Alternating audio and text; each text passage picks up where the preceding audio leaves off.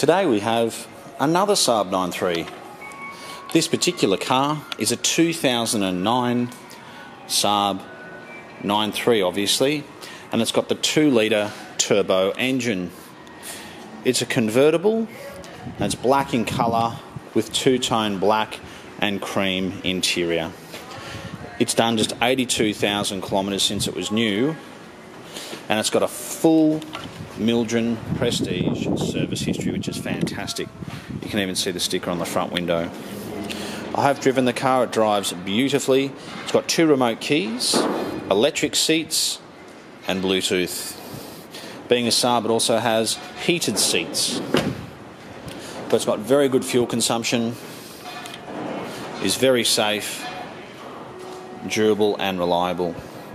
With a car for service history like this, you shouldn't be having any issues whatsoever. As long as you keep it well serviced, it'll be a very good car.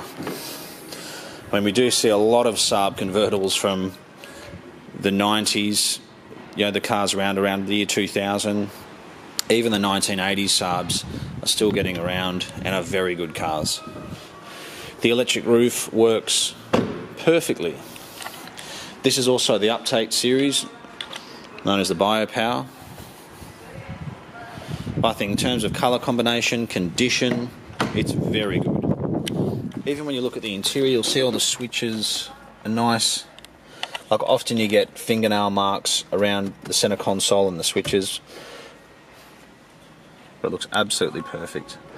And there's your Bluetooth here on the steering wheel, trip computer, cup holder. Sounds like a strange thing to say, but they're often broken because they're slightly fragile. I don't know if people put pressure down like this or whatever but um, that's all working. And the car came to us in particularly good condition. We just literally gave it a wash with soap and water, and it's just responded beautifully. But if you've been looking for a convertible for summer, or if you're specifically looking for a Saab, I think you should definitely come in and have a look at this car. Take it for a drive. I've driven it. I drove it overnight, as a matter of fact, and it drove perfectly, as you would expect a Saab which has always been serviced at Mildren to drive. Well, thank you so much for taking the time to watch this video. We are located in Marrickville. We're called the Oldtimer Centre.